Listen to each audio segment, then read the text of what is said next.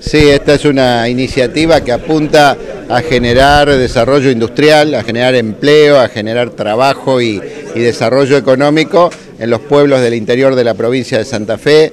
Eh, creo que esta ha sido una de las experiencias más exitosas por el compromiso que ha puesto también el presidente de la comuna. Eh, y bueno, hemos trabajado bastante para poner en marcha el proyecto, es un área industrial eh, que va a tener eh, en, creo que alrededor de 48 lotes, este, una primera etapa de más de 20, con aporte de infraestructura que va a ser el gobierno de la provincia. Y a partir de allí, lógicamente, la convocatoria al sector privado, a los empresarios de la región, para que apuesten a San Jerónimo del Sauce como una opción este, interesante para radicarse, para establecer sus industrias y para generar empleo. decían antes que usted recorría los pueblos chicos donde pasa esto, ¿no? La preocupación de los presidentes comunales es que la gente no se vaya del pueblo, de que pueda tener fuentes de trabajo y se necesitan este tipo de gestiones y este tipo de apoyos provinciales, ¿no? Para que la gente se quede en la localidad. Totalmente. Hoy la tecnología nos permite estar conectados con el mundo desde cualquier lugar de la provincia y permite que uno pueda desarrollar emprendimientos económicos exitosos sin necesidad de estar ubicado en las grandes ciudades como tal vez ocurría en las décadas pasadas. O sea que hoy hay oportunidades para los pequeños pueblos del interior. Eh, poder eh, generar condiciones propicias para la erradicación de empresas, eh, que esas empresas sean competitivas, generen empleo local eh, y bueno, y puedan este, volcar sus productos tanto al mercado interno como al mercado de exportaciones.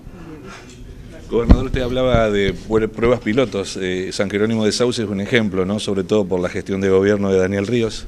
Eh, sí, fue una de las primeras localidades que tomó este desafío.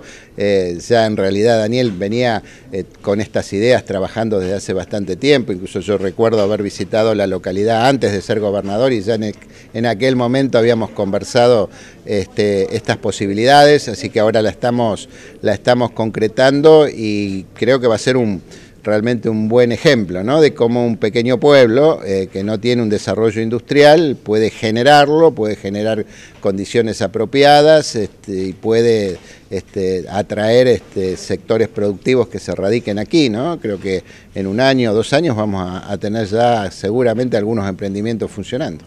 El gas natural, la energía son eh, básicas ¿no? para todo esto. Sí, sí, eh, la energía y el gas natural son fundamentales. Eh, por eso estamos tratando de llevar mejores este, eh, propuestas en materia energética a todo el territorio provincial. El gas a veces es más difícil porque no depende de nosotros, depende de una empresa concesionaria de la nación como Litoral Gas, pero, pero bueno, aún así este, hay que buscarle la vuelta, buscar las condiciones propicias. Eh, cada ciudad, cada pueblo tiene, eh, puede tener desventajas porque le falta algo en infraestructura, pero tiene otras ventajas que hay que saber aprovechar.